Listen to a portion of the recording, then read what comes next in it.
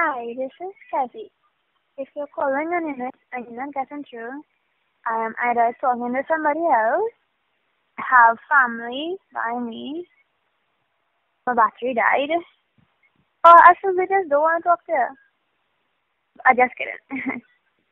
so can I call back myself so something and might get you?